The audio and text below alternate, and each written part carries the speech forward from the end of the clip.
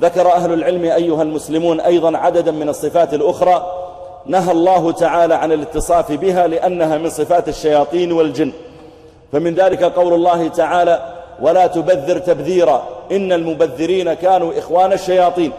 الإسراف من المرء في طعامه وفي شرابه وفيما ينفق وفي لباسه وما شابه ذلك هذا فيه تشبه بفعل الشياطين لأن الشياطين هم أهل التبذير والإسراف.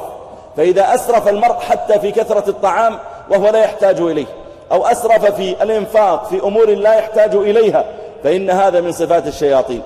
وذكروا أيضا من صفات الشياطين الغفلة عن ذكر الله تعالى فإنهم لا يحبون الذكر ولا يعظمون من عظم ولا يقتربون ممن يعظم الذكر فمن صفاتهم أنهم لا يذكرون الله تعالى.